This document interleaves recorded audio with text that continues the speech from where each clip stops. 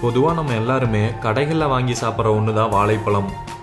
இந்த வாழைப்பழத்தை அதிக விலைக்கு விற்கணும்னு கடைக்காரர் பண்ண ஒரு அசிங்கமான விஷயம் இப்போ இன்டர்நெட்டில் வைரல் ஆகிட்டு வருது. அது என்னங்கிறத பற்றி நம்ம இந்த வீடியோவில் பார்ப்போம். நம்ம வாழைப்பழம் வாங்க கடைக்கு போனால் காசு கொடுத்து பழத்தை வாங்கிட்டு போயிட்டே இருப்போம். அந்த பழத்தை உண்மையான பழமான்னு செக் பண்ணுறதெல்லாம் கிடையாது.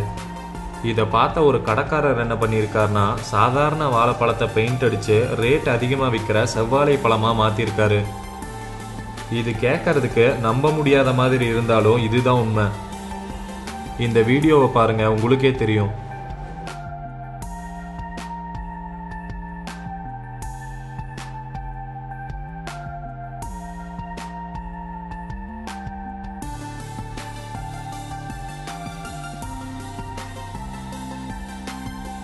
நீங்கள் கடையில் செவ்வாழைப்பழம் வாங்குனீங்கன்னா அதை வீட்டுக்கு கொண்டு போய் துணி மருந்துன்னு சொல்லுவாங்க. அதை மேலே ஒரு சொட்டு விட்டு தேய்ச்சிங்கன்னா பெயிண்ட் உறிஞ்சு வந்துடும் இது மூலமாக நீங்கள் போலியான செவ்வாழைப்பழத்தை கண்டுபிடிக்க முடியும். அடுத்த வீடியோ பார்க்குறதுக்கு முன்னாடி கீழே இருக்க சப்ஸ்கிரைப் பட்டனை கிளிக் பண்ணி எங்கள் ஃபுல் மீல்ஸ் சேனலை மறக்காமல் சப்ஸ்கிரைப் பண்ணுங்கள் கூடவே பக்கத்தில் இருக்க பெல் ஐக்கானையும் கிளிக் பண்ணிக்கோங்க.